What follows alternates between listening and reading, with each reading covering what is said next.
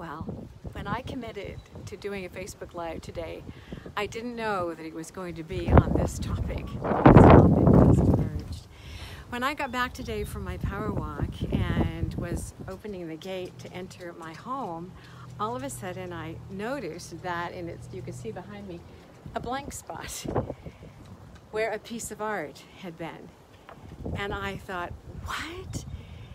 This art has been here, wrought iron, for five years, and somebody took it.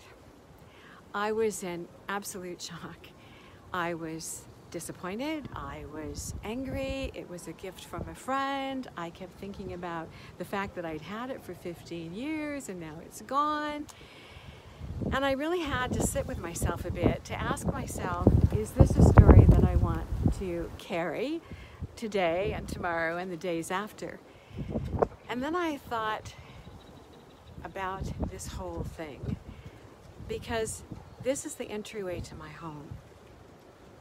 And this piece of art was the welcoming piece to people who came.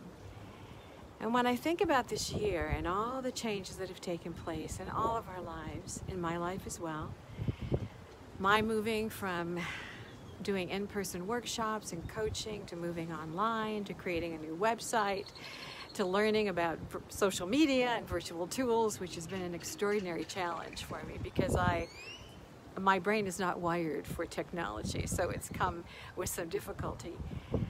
I asked myself, what do I want to do as a storyteller about this story? And I thought, you know what? I want to change it. And the fact that there's an open space here, is that not an opportunity for me to create something new?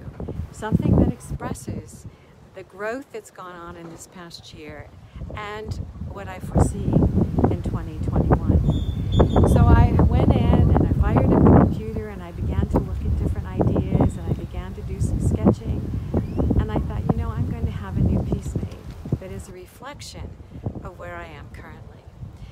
But it's one thing to have an idea, it's another thing to make it happen. And I do not have the skill set to do a wrought iron art piece, but I know someone who does. His name is, is uh, Hector Fernandez, and he is the same person who created, and let me see if you can see it, this extraordinary door to my gate, actually, to my courtyard and then into my home. And he's also done several other pieces for me. He's done a trellis on the back patio. He has done a, a special um, piece to hold uh, some art that I had purchased from Venezuela. And I know he's the absolute right person to take my design, my drawing, and turn it into something beautiful. And at the same time, I have the pleasure of supporting his as an artist and doing what he does best. And what's also wonderful about this is that Hector has great ideas. So I know that even when I show him my design, he will be making some suggestions that's going to make it even better. And so I'm grateful for the opportunity to create something new. And I'm grateful even for what happened because it's allowing me to rethink the idea of gateways and entrances, entrances and, and, and new beginnings and an opportunity for me to create some visual, physical reminder of this year, of the growth, and of the new opportunities. And so as a storyteller, founder of Story by Design, what I've discovered is this. Life just plain happens. And the question always is, what are we going to do about that? What is the story that we are going to choose to tell? What, how can we reframe the story so that it serves us and doesn't deplete us, that it gives us energy and life rather than to take away our spirit?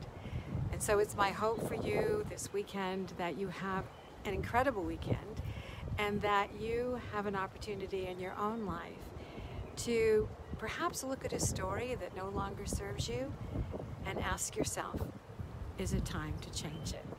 Have a wonderful weekend.